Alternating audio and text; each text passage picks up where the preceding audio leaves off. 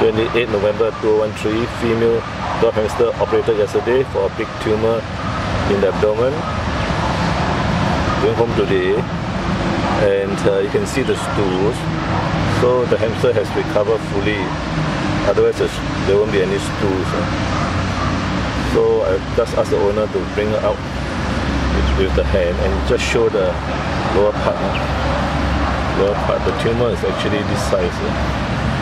Tumor this side. Just turn, turn upside down and then uh, let, let me video. I'll just put it down there below. And then you can hold. Uh, no, just hold.